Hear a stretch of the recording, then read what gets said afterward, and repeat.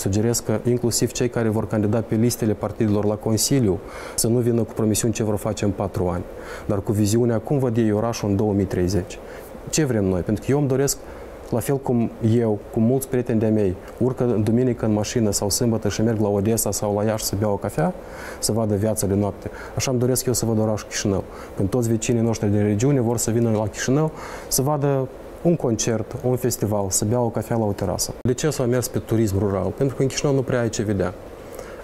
De asta eu le sunt recunoscător tuturor celor care organizează tot felul de festivaluri, yard sale-uri, orice care adună lumea.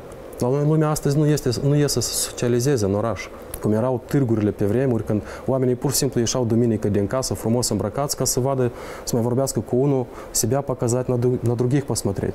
Lumea s-a închis acum. Sau stă în oficiu, sau stă în casă.